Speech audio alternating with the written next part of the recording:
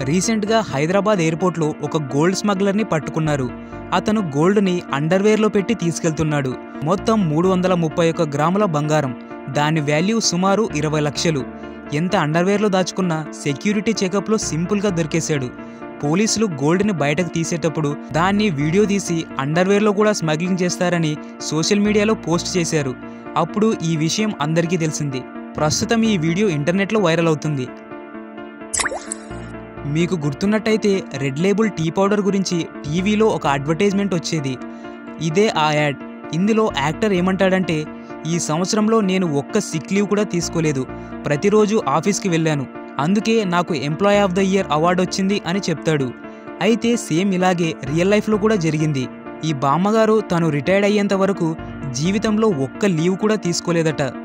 బామ్మగారి పేరు మెల్బా మెబానే. అమెరికాలోని టెక్సాస్లో ఉంటారు. తనకి తొంభై ఏళ్ళ వయసు వచ్చినప్పుడు రిటైర్ అయ్యారు. పంతొమ్మిది వందల నలభై తొమ్మిదిలో కాస్మెటిక్స్ డిపార్ట్మెంట్లో ఎలివేటర్ గర్ల్గా జాయిన్ అయ్యారు. అప్పటి నుంచి దాదాపు డెబ్బై నాలుగేళ్ళు ఆ డిపార్ట్మెంట్లోనే పనిచేశారు. ఈ డెబ్బై నాలుగేళ్ళలో తాను ఒక్కసారి కూడా లీవ్ తీసుకోలేదట.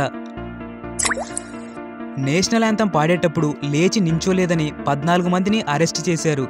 ఈ ఘటన మన ఇండియాలో ఉన్న జమ్మూ కాశ్మీర్లో జరిగింది.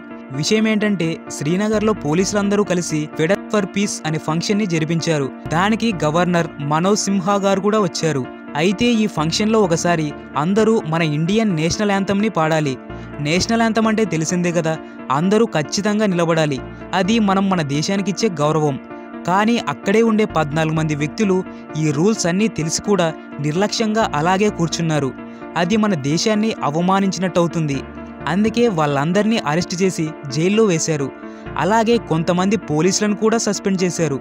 ఎందుకంటే నేషనల్ యాంతం పాడేటప్పుడు అక్కడ ఉన్న వాళ్ళందరూ నిలబడేలా చూసుకోవాల్సిన బాధ్యత పోలీసులది. కాబట్టి ఆ పద్నాలుగు మంది నించోపోవడానికి కారణం పోలీసుల నెగ్లజెన్సీ కూడా ఉందని కొంతమందిని సస్పెండ్ చేశారు. ఒక కోతి తినే ఆహారం అనుకుని ఒకటిన్నర లక్షల రూపాయల్ని ఎత్తుకెళ్ళింది. ఎలాగంటే ఒక వ్యక్తి ఏదో రిజిస్ట్రేషన్ కోసం ఒకటిన్నర లక్షల రూపాయల్ని తన బైక్ బ్యాక్ కవర్లో పెట్టుకుని ఉత్తరప్రదేశ్లోని షాబాద్ రిజిస్టర్ ఆఫీస్ దగ్గరకు వెళ్ళాడు.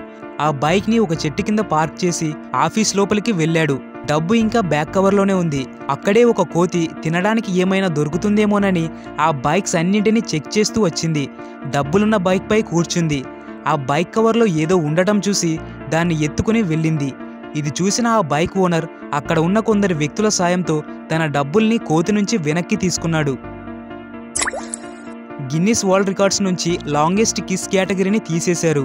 లాంగెస్ట్ కిస్ కేటగిరీలో ఎవరైతే వాళ్ళ పార్ట్నర్ని ఎక్కువసేపు ముద్దు పెట్టుకుంటారో వాళ్ళు రికార్డ్ సాధించినట్టు.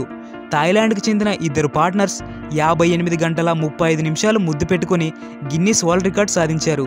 అయితే ఇక్కడ ప్రాబ్లం ఏంటంటే ఈ రికార్డ్ని బ్రేక్ చేయడానికి చాలామంది ట్రై చేస్తున్నారట. అలా చేయటం వల్ల వాళ్ళకి ఫిజికల్గా అండ్ సైకలాజికల్గా ప్రాబ్లమ్స్ వస్తున్నాయి. ఇలా ఒకరిద్దరు కాదు చాలామందికి జరుగుతుంది. రాను రాను మరీ డేంజరస్గా తయారైంది. అందుకే గిన్నిస్ వరల్డ్ రికార్డ్స్ ఈ కిస్ కేటగిరీని తీసేశారు. ఐస్లాండ్లో కేవలం ఇరవై నాలుగు గంటల్లో మొత్తం రెండు వేల రెండు వందల భూకంపాలు వచ్చాయి. అంటే ప్రతి నిమిషానికి ఎక్కడో ఒక చోట భూమి కదులుతూనే ఉంది. అదృష్టవశాత్తు ఆ భూకంపాలు ఏవి ప్రజలుండే ప్లేస్లో రాలేదు. అవి ఐస్లాండ్ బార్డర్స్లో వచ్చాయి కాబట్టి రెండు వేల రెండు వందల భూకంపాలు వచ్చినా సరే అక్కడి ప్రజలకు ఏమీ కాలేదు. అదే ఒకవేళ జనాలుండే చోటులో వచ్చి ఉంటే అక్కడి బిల్డింగ్స్ అన్నీ కూలిపోయి భూమంతా కంపించి చాలామంది ప్రజల ప్రాణాలకు హాని జరిగేది. సో ఇది ఫ్రెండ్స్ వాళ్ళ వీడియో. మీకు ఈ వీడియో నచ్చినట్టయితే లైక్ చేయండి. వీలైతే మీ ఫ్రెండ్స్ అండ్ ఫ్యామిలీకి షేర్ చేయండి. నెక్స్ట్ ఎపిసోడ్ మిస్ కాకుండా చూడాలనుకుంటే మన ఛానల్ని సబ్స్క్రైబ్ చేసుకోండి. Thank you for watching. Signing off. Bye.